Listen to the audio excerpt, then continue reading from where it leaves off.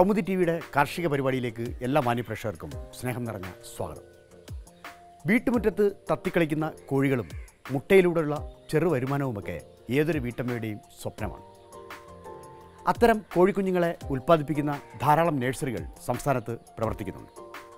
മൃഗസംരക്ഷണ വകുപ്പിന്റെ എഗ്ഗർ നഴ്സറികളാണ് അവ. നാടിനിണങ്ങിയ മുട്ടക്കോഴികളെ ഉൽപ്പാദിപ്പിക്കുന്ന അത്തരം നഴ്സറികളിലേക്കാണ് ഇന്ന് ഹരിതസുന്ദരം യാത്ര പോകുന്നത്. കൊല്ലത്ത് ഉമയനല്ലൂരിൽ വീട്ടമ്മയായ ബിന്ദു നടത്തുന്ന ത്രിവേണി എഗ്ഗർ നഴ്സറിയിലെ കാഴ്ചകൾ. കാണാം.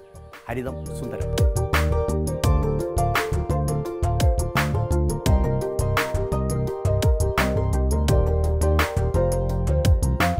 ത്രിവേണി എഗ്ഗർ നഴ്സറി പ്രസിദ്ധമാണ്.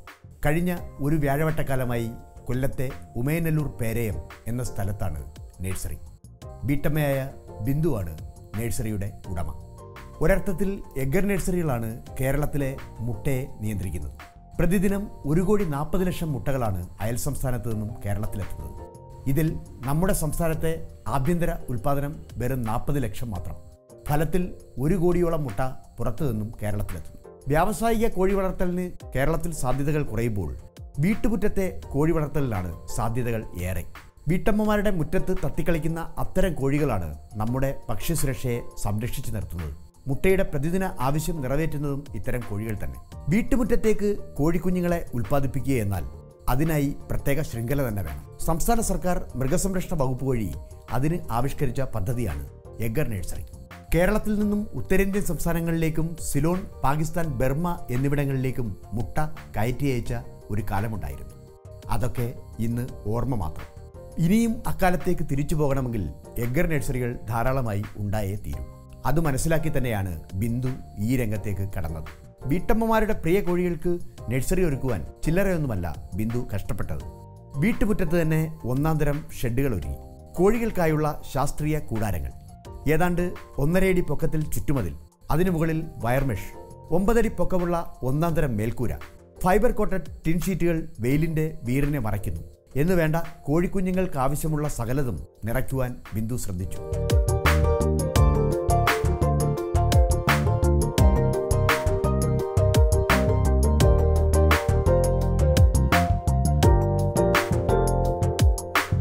ത്രിവേണി യഗർ നഴ്സറിയിലെ നായിക ശ്രീമതി ബിന്ദു നമ്മോടൊപ്പം ഉണ്ട് ചില വിശേഷങ്ങൾ പങ്കുവയ്ക്കുന്നു. നമസ്കാരം ബിന്ദു. ഈ നമ്മുടെ ഈ പ്രോഗ്രാം കണ്ടുകൊണ്ടിരിക്കുന്ന വീട്ടമ്മമാർ ഇപ്പോൾ ആലോചിക്കുന്നത് ബിന്ദുവിന് ഒരു വീട്ടമ്മയായ ബിന്ദുവിന് എങ്ങനെയാണ് ഇതിനൊക്കെ സമയം കിട്ടുന്നതെന്നാണ് എങ്ങനെയാണ് ശരിക്കും ഇതിന് സമയം കിട്ടുന്നത്? സമയം കിട്ടാറുണ്ട്. വീട്ടിലെ ജോലിക്കെല്ലാം പുറമേ ഇത് ചെയ്യുന്നു. എത്ര നേരം ഒരു ദിവസം ഇതിനു വേണ്ടി സമയം കിട്ടും? ഒരു നാല് മണിക്കൂർ അഞ്ച് മണിക്കൂർ ഉച്ചയ്ക്ക് ശേഷമുള്ള സമയമാണ്? അല്ല രാവിലെ. രാവിലെ. രാവിലെ എഴുന്നേറ്റ് അവിടെ നിന്ന് ഈ കോഴികളുടെ അടുത്ത് വരുന്നു. രണ്ട് ആറ് മണി മുതൽ പത്ത് മണി വരെ ഇവിടെ പ്രവർത്തിക്കുന്നു. അങ്ങനെയാണോ? അല്ല അല്ല. അല്ല. ആറ് തൊട്ട് എട്ട് വരെ? ഏഴ് മണി തൊട്ട് ഒമ്പത് മണി വരെ. പിന്നെ അത് കഴിഞ്ഞിട്ട് നാല് മണി തൊട്ട് അഞ്ചര വരെ. ഇപ്പം ഈ ഇതിനിടയ്ക്ക് കോഴിക്കുഞ്ഞിനെ അവിടെ വൃത്തിയാക്കാനും കൂട് വൃത്തിയാക്കാനും ഒക്കെ ഇടയ്ക്ക് ഇടയ്ക്ക് ഇറങ്ങാറുണ്ട്.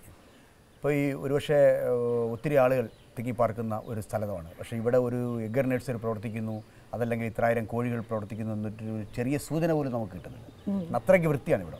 എങ്ങനെയാണ് സാധ്യമാക്കുന്നത്? ഹസ്ബൻഡ് ഹസ്ബൻഡാണ് അതെല്ലാം വൃത്തിയാക്കുന്നത്. എല്ലാം വൃത്തിയാക്കുന്നത് ശുചീകരണത്തിന്റെ ചുമല ചുമതല സുധാകരനാണ്. അപ്പോൾ ഈ സാസോ കോഴികൾ ബി വി ത്രീ എയ്റ്റി കോഴികൾ കൈരളി കോഴികൾ മൂന്നും മൂന്നും ഇപ്പൊ കേരളത്തിൽ വലിയ പ്രിയം നേടിക്കൊണ്ടിരിക്കുന്ന കോഴികളാണ്. ഇതിന്റെ ഒരു ഈ മൂന്നിനെയും പരിപാലിക്കുന്ന ഒരു വീട്ടമ്മ എന്ന നിലയിൽ കൂടുതൽ താല്പര്യം ഇതുകൊണ്ട് ഇപ്പം കൈരളിയും ബി വി ത്രീ എയ്റ്റിയാണ് എല്ലാവർക്കും ആവശ്യം. കൈരളിയും B V three eighty B V three eighty നാല് കൃത്യം നാല് മാസമാകുമ്പോൾ മുട്ടയിടും. മുട്ടയിടും. കൈരളി അഞ്ച് മാസമാകുമ്പോൾ മുട്ടയിടും. അപ്പോൾ ഈ ഇതിന്റെ വിലയൊക്കെ എങ്ങനെയാണ്? ബി വി ത്രീ എയ്റ്റിക്ക് എത്ര രൂപയാണ്? ബി വി ത്രീ എയ്റ്റി ഒരു ഡേ ഓൾഡ് കുഞ്ഞിന് ഒരെണ്ണം അമ്പത് രൂപയെ വില. ഇവിടെ പിന്നെ, വണ്ടി പിന്നെ വണ്ടിക്കൂലി. മറ്റേ കൈരളി കോഴിയോ? കൈരളി കോഴി ഇരുപത്തിരണ്ട് രൂപ. ഇരുപത്തിരണ്ട്. നമ്മളിപ്പോൾ ഏകദേശം ഒരു നാൽപ്പത്തഞ്ച് ദിവസം വരെ വളർത്തിയാണ് ഇത് കർഷകർക്കും വീട്ടമ്മമാർക്കൊക്കെ നൽകുന്നത്. അപ്പോൾ നാൽപ്പത്തഞ്ച് ദിവസം വളർന്നു കഴിയുമ്പോഴേക്കും ബി വി ത്രീ എയ്റ്റി കോഴിയുടെ വില എത്രയാവും? നൂറ്റി നാൽപ്പതാവും അമ്പതിൽ നിന്ന് നൂറ്റി നാൽപ്പതിലേക്ക് ഉയരുവാണ്. മറ്റേ നമ്മുടെ കൈരളി കോഴി ഇരുപത്തിരണ്ടിൽ നിന്ന്? തൊണ്ണൂറിലേക്ക്. തൊണ്ണൂറിലേക്ക്. അപ്പോൾ ഇതൊക്കെ ആകുമ്പോൾ ബിന്ദുവിന് ഒരു വലിയ വരുമാനമായിരിക്കുമല്ലോ. നമ്മളെ കഷ്ടപ്പെടുന്നതിന്. കഷ്ടപ്പെടുന്നതിനുള്ള കൂലി എന്തായാലും വേണമല്ലോ അല്ലേ?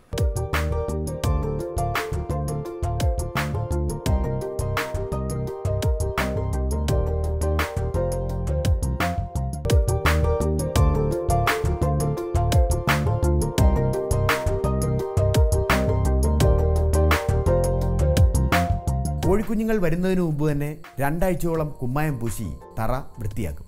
ഉറച്ച കോൺക്രീറ്റ് തറയിലാണ് കോഴിക്കുഞ്ഞുങ്ങളുടെ വാസമെങ്കിലും. അതിനായി ഡീപ് ലിറ്റർ അഥവാ വിരിപ്പ് രീതി തന്നെയാണ് ബിന്ദു സ്വീകരിച്ചത്. തടിച്ചീളുകളാണ് കോഴിക്കുഞ്ഞുങ്ങളുടെ മെത്ത. മൂന്നിഞ്ച് കരത്തിൽ അതങ്ങനെ നിരത്തും.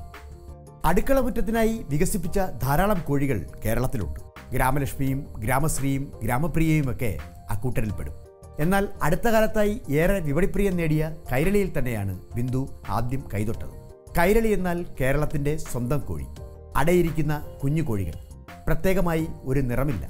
നമ്മുടെ നാട്ടിലെ സുന്ദരി കോഴികളായ തലശ്ശേരി കോഴി തമിഴ്നാട്ടിലെ തേനിക്കോഴി ഒറീസയിലെ തിത്തിരിക്കോഴി ഇവയൊക്കെ തന്നെയാണ് കൈരളിയുടെ സൃഷ്ടിക്കായി ഉപയോഗിച്ചത്. കഴുത്തിൽ രോമങ്ങളെയില്ലാത്ത നേക്കഡ് നെക്കും അതിൽപ്പെടും. ഇത്തരം നാടൻ കോഴികളെ ഉയർന്ന ജനിതകമുള്ള വൈറ്റ് ലഗൂൺ കോഴികളുമായി ബന്ധപ്പെടുത്തിയാൽ കേരള കാലാവസ്ഥയ്ക്കിണങ്ങിയ യോജിച്ച ഇനം കിട്ടും. പേര് കൈരളി.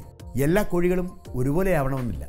ചിലതിന് കഴുത്തിൽ രോമങ്ങളേയില്ല. ചിലവയ്ക്ക് രോമസമൃദ്ധമായ കഴുത്ത്. പുള്ളിയും പോരും നിറഞ്ഞവരാണ് ഒരു കൂട്ടരെങ്കിൽ പൂർണമായും ശ്യാമമേനിയോട് കൂടിയവരാണ് മറ്റുള്ളവർ. കൂട്ടത്തിൽ ശുഭ്രശോഭയുള്ളവരും പെടും. എന്തായാലും കൈരളി കോഴികൾക്ക് ചില ഗുണങ്ങളുണ്ട്. വീട്ടുമുറ്റത്ത് തത്തിക്കളിക്കുവാൻ ഏറ്റവും യോജിച്ചവർ. പ്രത്യേകിച്ച് ഒരു തീറ്റ വേണമെന്നില്ല. അടുക്കളയിൽ നിന്ന് വലിച്ചെറിയുന്ന എന്തും കഴിക്കും. പാഴായി പോകുന്ന ധാന്യങ്ങൾ പച്ചക്കറി അവശിഷ്ടങ്ങൾ ഇവയൊക്കെ തീറ്റയാക്കും ഇനി ഇരപിടിയന്മാരുടെ ആക്രമണത്തിൽ നിന്ന് രക്ഷ നേടുവാൻ പ്രത്യേക വൈദഗ്ധ്യം. നല്ല ഓട്ടക്കാരാണ് കൈരളി കോഴികൾ. ഇനി മുട്ടയിട്ട് തീർന്നാൽ വിഷമിക്കേണ്ട. അവർ നന്നായി അടയിരുന്നുള്ളൂ. അടയിരിക്കാൻ സൗകര്യമൊരുക്കിയാൽ അടുത്ത തലമുറ വീണ്ടും റെഡി പോരെ പൂരം. കൈരളിക്കായി വീട്ടമ്മമാരുടെ നെട്ടോട്ടമാണ്. ഒരു ദിവസം പ്രായമായ കോഴികളെ വളർത്തി നാൽപ്പത്തഞ്ച് ദിവസം പരുവമാക്കുക എന്നതാണ് എഗർ നഴ്സറിയുടെ ലക്ഷ്യം. ആദ്യകാലത്തെ ബ്രൂഡിങ് തീറ്റ വെളിച്ചം വെള്ളം ഇവയൊക്കെ നേരാംവണ്ണം നൽകിയാൽ കോഴികൾ വളർന്ന് പരുവത്തിലെത്തും. ഒപ്പം കോഴി വസന്തിക്കും ഐ ബി ഡിക്കും ഒക്കെ എതിരായ പ്രതിരോധ കുത്തിവയ്പ്പുകളും വേണം. ഇരുപത്തൊന്നാം പക്കവും നാൽപ്പതാം പക്കവും വിരമരുന്നുകൾ കൂടി നൽകിയാൽ കോഴികൾ വീട്ടമ്മമാരുടെ കൈകളിലെത്താൻ റെഡി ചോദിക്കുന്ന വില കിട്ടും എന്നതാണ് കൈരളിയുടെ പ്രത്യേകത.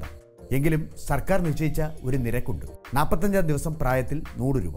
കൈരളി കോഴികൾക്കായി വിശാലമായ ഒരു നഴ്സറി തന്നെയാണ് ബിന്ദു പണിതത്. എല്ലാവർക്കും തീറ്റ എട്ടാഴ്ച വരെ ക്രമ്പ് തന്നെ. ഉയർന്ന പോഷകമൂല്യമുള്ള തീറ്റ തന്നെയാണ് കോഴികൾക്ക് നൽകാറ്. ഒപ്പം അല്പം പച്ചിലയും രുചിക്കുന്നവരാണ് കൈരളി കോഴികൾ നല്ല ഇണക്കമുള്ള കോഴികൾക്ക് ആവശ്യത്തിന് വെള്ളവും തീറ്റയും എത്തിക്കുവാൻ പ്രത്യേക സംവിധാനം. വെള്ളമാകട്ടെ തട്ടിമറിയാത്ത കോണിക്കൽ പാത്രങ്ങളിൽ. തീറ്റയാകട്ടെ മുകളിൽ നിന്ന് തൂങ്ങുന്ന ഹാങ്ങിങ് ഫീഡറുകളിൽ. കൈരളി കോഴികൾ സമൃദ്ധമായി വളർന്നുകൊള്ളും. സാധാരണ കോഴികളെ ബാധിക്കുന്ന കോഴിവസന്തക്കെതിരെ പ്രതിരോധ കുത്തിവയ്പുണ്ട് രക്താതിസാരത്തിനും വിരകൾക്കുമെല്ലാം മരുന്നുകൾ നേരത്തെ നൽകും. എന്തായാലും ത്രിവേണിയുടെ കൈരളി ബ്രാൻഡ് വിജയിച്ചു കഴിഞ്ഞു. വീട്ടമ്മമാർ നിരന്തരമായി ത്രിവേണി അന്വേഷിച്ച് എത്തിത്തുടങ്ങി.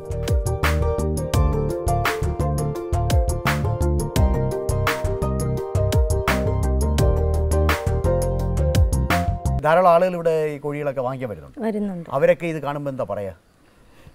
എല്ലാരും ആദ്യം പറയുന്നത് നല്ല വൃത്തിയെന്നാണ് പറയുന്നത്. നല്ല വൃത്തി എന്നാ പറയുന്നത്. അതെ അതെ. അവർക്കെല്ലാം ഇഷ്ടപ്പെടും. ഇഷ്ടപ്പെടും. വരുന്നവർ ഇവിടെ നിന്നൊരു കോഴിയെ വാങ്ങിച്ചുകൊണ്ടേ പോവുകയുള്ളൂ. അല്ലേ? അതാണ്. ഇപ്പോൾ അവർക്ക് ഈ ഇതിനെയൊക്കെ എങ്ങനെയാണ് പ്രത്യേകിച്ച് ഇപ്പം ഡീപ്പ് ലിറ്റർ അതായത് തറവിരി വിരിച്ച് കോഴിയോ കോഴിയോ കോഴിയെ വളർത്തുന്ന രീതി ഇവിടെ ഉണ്ട്. അതോടൊപ്പം തന്നെ കൂടുകളിൽ അഞ്ച് കോഴി പത്ത് കോഴി ഇരുപത്തഞ്ച് കോഴിയൊക്കെ വളർത്തുന്ന കൂടുകളുണ്ട്. അപ്പോൾ ഇവർക്കെല്ലാം ഇതിന്റെ ഒരു പരിപാലന മുറകളൊക്കെ വിശദീകരിച്ചു. വിശദീകരിച്ചു. അവരത് കേൾക്കാൻ താല്പര്യം കാണിക്കുന്നുണ്ട്? എന്നാ ഒരു ഒരു- ഒരുപാട് ആൾക്കാർ ഇവിടെ വന്ന് പഠിച്ചിട്ട് പോകുന്നുണ്ട്. നേരിട്ട് കണ്ട് മനസ്സിലാക്കിക്കൊണ്ട് പോകുന്നുണ്ട്. അപ്പോൾ ഇത് ഒരു ഒരു ചാക്രിക പ്രതിഭാസമാണല്ലോ. അതായത് നാൽപ്പത്തഞ്ച് ദിവസം കഴിയുമ്പോൾ കോഴി തീരുകയാണ്. വീണ്ടും അതേ കോഴി കുഞ്ഞുങ്ങൾ വരികയാണ് അപ്പോൾ ഇതിനുവേണ്ടി ഒത്തിരി ഏജന്റർമാർ അല്ലെങ്കിൽ വൻകിട കമ്പനികൾ അതല്ലെങ്കിൽ വലിയ സർക്കാർ ഫാമുകൾ ഇവരൊക്കെ ആയിട്ട് നല്ല ബന്ധമുണ്ടല്ലോ? ഉണ്ട് ഉണ്ട് ഉണ്ട്. ഉണ്ട് അപ്പോൾ ഇതിനുള്ള പരിശീലനത്തിനൊക്കെ പോയിട്ടുണ്ട്. ആ ഉണ്ട്. ഞാൻ പോയത് രണ്ടായിരത്തി അഞ്ചിൽ ചെങ്ങന്നൂർ സെൻട്രൽ ഹാച്ചറിയിൽ നിന്നാണ് ട്രെയിനിങ്ങിന് പോയത്. അതിന്റെ സാക്ഷ്യപത്രമൊക്കെ ഉണ്ട്? ഉണ്ട് ഉണ്ട് ഉണ്ട്. അപ്പോൾ അതിൽ നിന്നൊക്കെ പഠിച്ച ആ ഒരു പ്രചോദനമാണ് ബിന്ദുവിനെ ഇതിലേക്ക് എത്തിച്ചത്. അപ്പോൾ ബിന്ദുവിന് വലിയ താല്പര്യമുണ്ട് പക്ഷേ ഇതുവരെ ബിന്ദുവിന് കൊണ്ടുവരാൻ കഴിഞ്ഞിട്ടില്ല. അതിനെ വളർത്തിയാൽ അത്തരം കോഴികളെ വളർത്തിയാൽ കൂടുതൽ നന്നാവും എന്ന് തോന്നിയിട്ടുണ്ട്. അങ്ങനെയാണെങ്കിൽ ആ കോഴികളേതാണ് ഇപ്പം പുതിയ പുതിയ കോഴികൾ ഇറങ്ങുന്നുണ്ട് പക്ഷെ നമുക്കത് കിട്ടാൻ ബുദ്ധിമുട്ടാണ് ഇതിപ്പം ബി വി ത്രീ എയ്റ്റി അങ്കമാലിയിൽ നിന്ന് കൊണ്ടുവന്നതാണ് അപ്പോൾ അവിടെ പോയി എടുക്കാനുള്ള ബുദ്ധിമുട്ടുണ്ട്. അപ്പോൾ ഇപ്പോൾ അവർ വണ്ടിയിൽ ഇനി കൊടുത്തയച്ചത് കൊണ്ട് എളുപ്പമായി.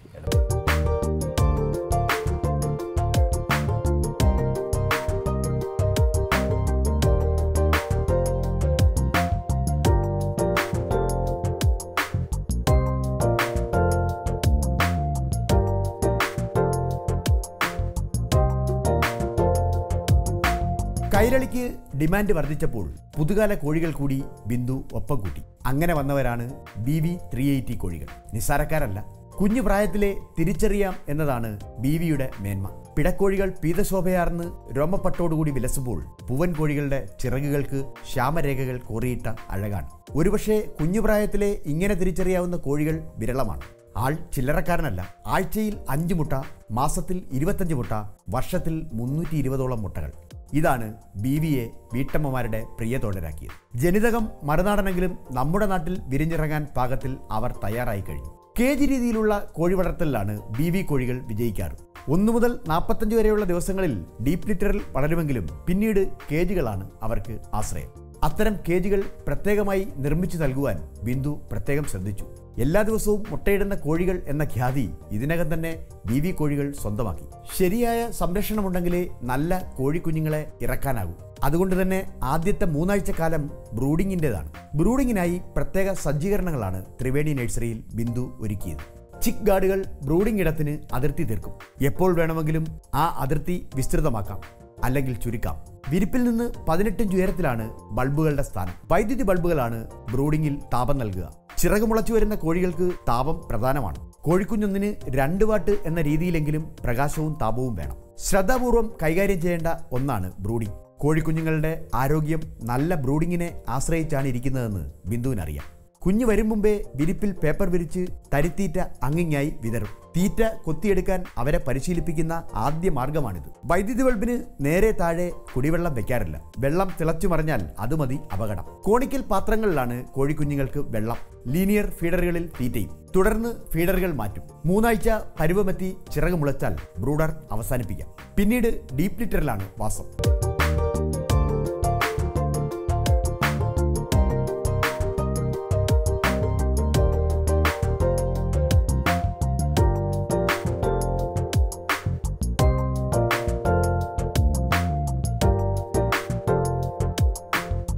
കോഴികൾ വേണ്ട ഒരു പത്ത് പന്ത്രണ്ട് വർഷമായിട്ട് ഈ രംഗത്ത് നിൽക്കുന്ന ഒരാളെന്ന നിലയിൽ ബിന്ദുവിന് ഏറ്റവും ഹൃദയം കൊണ്ട് ഇഷ്ടപ്പെടുന്ന കോഴിയെന്ന് കൈരളിയ.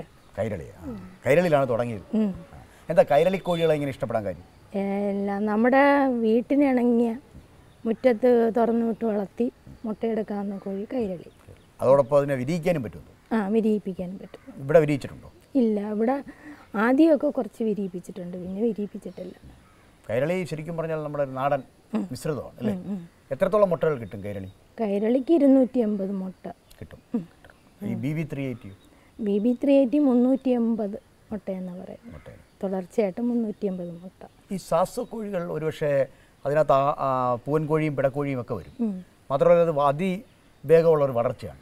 അതിന്റെ ആവശ്യക്കാരാണ് അത് ഈ ഇറച്ചിക്ക് വേണ്ടിയിട്ട് വളർത്തുന്ന പൂവനെ മാത്രം എടുത്ത് വളർത്തി അങ്ങനെയുള്ളവർ വന്ന് മേടിക്കാറുണ്ട്. ബിന്ദുവിന്റെ ഒരു ലക്ഷ്യം എന്താ? ഇനി അടുത്ത ഇത്രയൊക്കെ ആയി. പന്ത്രണ്ട് വർഷമായി രംഗത്ത് നിൽക്കുന്നു. ഇത്ര ആയിരം കോഴികളെ വളർത്തി അനേകായിരം വീട്ടമ്മമാർക്ക് കൊടുത്തു. ഇനി എന്താ ഒരു സ്വപ്നം? ഇങ്ങനെ അങ്ങ് പോയാൽ മതി. മതി വലിയ സ്വപ്നങ്ങളൊന്നും വേണ്ട. സാധാരണ അല്ലേ?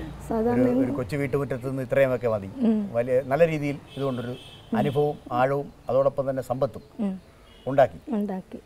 അത് മതി. അത് മതി. ഇനി വലിയ കൂടുതൽ വലിയ ആകാശങ്ങളിലേക്ക് പോകുന്നില്ല അല്ലേ പോകുന്നില്ല.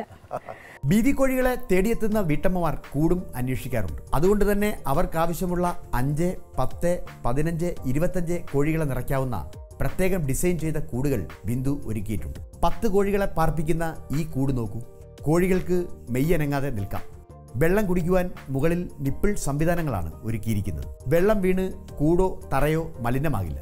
നിപ്പിൾ തുമ്പിൽ തുടിച്ചു നിൽക്കുന്ന തുള്ളിവെള്ളം കോഴികൾ ആവശ്യം വരുമ്പോൾ അകത്താക്കിക്കൊള്ളും. തീറ്റയിടാൻ പി വി സി പൈപ്പുകളുടെ പാത്രങ്ങളാണ്. മുട്ടയിട്ട് തുടങ്ങുന്ന കോഴികൾക്ക് പ്രതിദിനം നൂറ്റി ഇരുപത് ഗ്രാമോളം തീറ്റ വേണം. അതും ലെയർ തീറ്റ. പ്രകാശം മുട്ടയിൽ പ്രധാന ഘടകമാണ്. സൂര്യൻ അസ്തമിച്ച ശേഷം രണ്ട് മണിക്കൂറും ഉദിക്കുന്നതിന് മുമ്പ് രണ്ട് മണിക്കൂറും പ്രകാശം നൽകലാണ് രീതി. മുട്ടയിട്ടാൽ അത് എങ്ങും പോകില്ല. നേരെ ഉരുണ്ട് എക്ട്രയിൽ എത്തിക്കൊള്ളും മുട്ട ശേഖരിക്കാൻ എളുപ്പം. സ്വീകരണ മുറിയിലോ അടുക്കള മുറ്റത്തോ മട്ടുപ്പാവിലോ എവിടെ വേണമെങ്കിലും മാറ്റിക്കൊണ്ടു പോകാം എന്നതാണ് ഹോംസ്റ്റെഡ് കേജുകളുടെ പ്രത്യേകത. അതുകൊണ്ട് തന്നെ ധാരാളം ആവശ്യക്കാർ കൂടുകൾക്കായി എത്താറുണ്ട്. മുട്ടക്കോഴികൾ ഇങ്ങനെ വിലസുമ്പോൾ ഇറച്ചിക്ക് കൂടി യോഗ്യരായ കോഴികളെ വേണം എന്ന നിർബന്ധമുണ്ടായിരുന്നു ബിന്ദുവിന്. അതുകൊണ്ട് തന്നെ വന്നത് റെയിൻബോ റൂസ്റ്റർ എന്ന വിഖ്യാതരായ കോഴികൾ. മുട്ടക്കോഴികളുടെ പൂവന്മാരും ഇക്കൂട്ടത്തിൽ വരും. ഫലമോ കേവലം ഒന്നര മാസം കൊണ്ട് തന്നെ ഒരു കിലോ തൂക്കമെത്തുന്ന കോഴികളെ സൃഷ്ടിക്കാം. എന്തും കഴിക്കും എന്നതാണ് റെയിൻബോ കോഴികളുടെ മേന്മ. മടനാട്ടിൽ നിന്നും എത്തിക്കുന്ന കുഞ്ഞുങ്ങൾക്ക് ആവശ്യത്തിന് ആഹാരം നൽകിയാൽ രണ്ടാം മാസം തന്നെ വിൽപ്പന പരുവമാക്കാം. അത് മറ്റൊരു വരുമാനമാണ്. ഒരുപക്ഷെ നാടൻ കോഴികളെ തോൽപ്പിക്കുന്ന ഇറച്ചി രുചിയുണ്ട് റെയിൻബോ കോഴികൾക്ക്. റെയിൻബോ റൂസ്റ്റർ എന്നാൽ കുതിച്ചു കയറുന്ന വളർച്ച എന്നാണ് അർത്ഥം. റെയിൻബോ റൂസ്റ്ററിന് ആവശ്യക്കാർ ഏറി. ഒന്നും രണ്ടുമല്ല ആയിരത്തോളം വരും അവരുടെ സംഖ്യ. ത്രിവേണിയിൽ അവർക്ക് പ്രത്യേക പരിപാലനം തന്നെയുണ്ട്.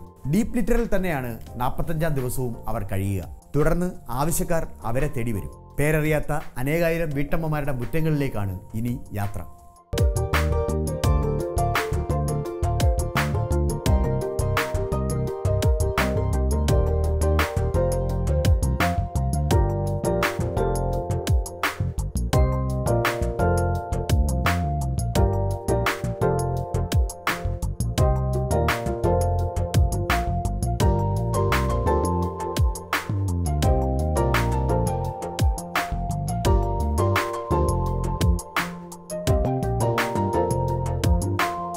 സാസക്കോഴികളും ബീവിക്കോഴികളും കൈരളിക്കോഴികളുമായി മുട്ടക്കോഴികൾ ധാരാളമായി വിരിഞ്ഞിറങ്ങും. നാടിന്റെ ഭക്ഷ്യഭദ്രതയ്ക്കും പോഷക സുരക്ഷിതത്വത്തിനും ഇത്തരം കോഴികൾ നിദാനമാണ് എന്ന് പ്രത്യേകം പറയേണ്ടതില്ല.